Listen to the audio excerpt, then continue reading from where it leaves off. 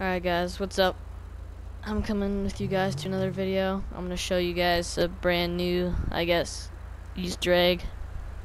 I think this is the first one Easter egg that came out.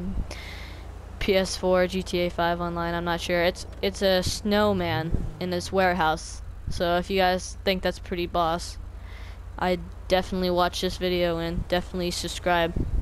Alright, so let's do this. So you're gonna wanna come right to where I'm showing you right here on the map.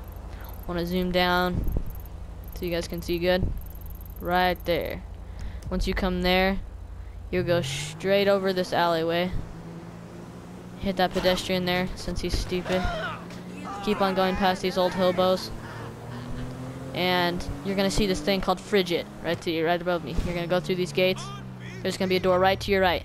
And it's the only one that's open. As you can see, all these other ones are closed. Every other door over here is closed.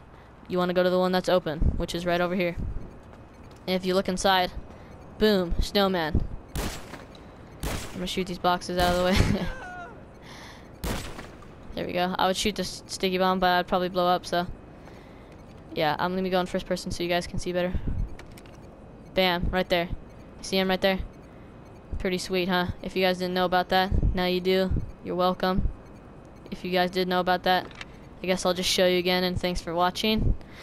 And I also wanted to bring up another subject. Um, I don't do a lot of commentary videos, including my voice, in my channel. So I'd like to start bringing that new to my channel, that sort of thing. And if you have, I do do funny moments, but I guess they're only funny to some people.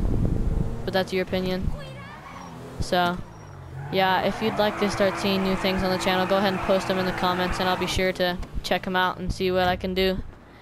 But that's pretty much it with the video.